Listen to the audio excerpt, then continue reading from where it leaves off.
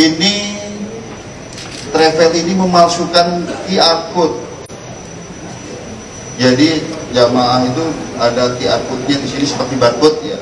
Tapi ini sangat fatal karena berisi tentang data-data jamaah, hotelnya di mana dan tapi ini antara foto dengan QR code itu berbeda. Ini jemaah yang sudah pernah berangkat. Jadi kalau kalau hilang nanti di apa namanya di Arab Saudi sana susah dideteksi. Hotelnya di mana dan lain sebagainya. Ini ini ini yang perlu kami jelaskan. Kemudian modusnya lagi adalah tiket hangus.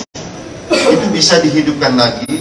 Kemudian men menambah sejumlah uang yang dibebankan kepada jamaah sejumlah 2.500 ya. dan ini kami sedang selidiki. Ini kok bisa ada modus seperti ini dan kami akan panggil pihak maskapai sedang kami adakan pemanggilan-pemanggilan untuk kami dalami. Ya. kemudian rekan-rekan sekalian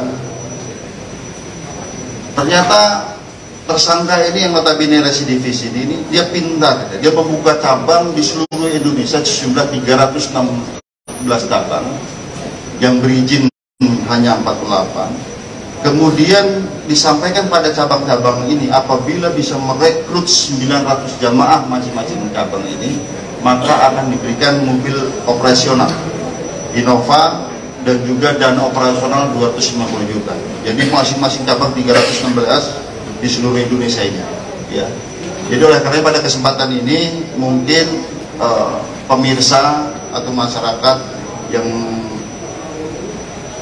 pernah menjadi korban daripada PT Naila Safa Wisata Mandiri ini perlu waspada.